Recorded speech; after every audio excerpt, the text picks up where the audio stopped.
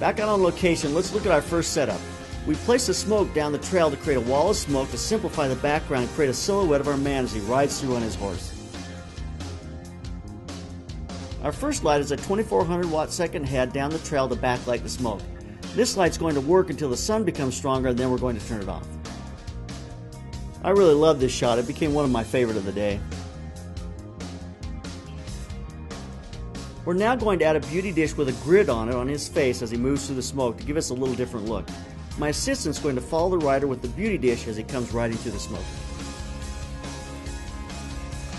Here are some of the images we took with the beauty dish and the backlight.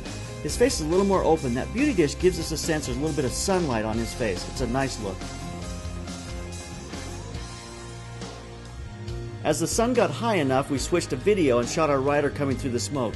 The sun is the only light source here. The sun is in a backlight position now is perfect for our next setup. We want to have the sun creating sun rays as it comes through the trees. You know, light you cannot see unless it's reflected onto some kind of substance like fog, atmosphere, dust, or smoke. Sun rays are around us all the time, but there's nothing for them to reflect off from, so we don't see them. We're going to add smoke and use the sun rays as an artistic element. Here's another example of our photograph with just the sun as a single light creating the sun rays.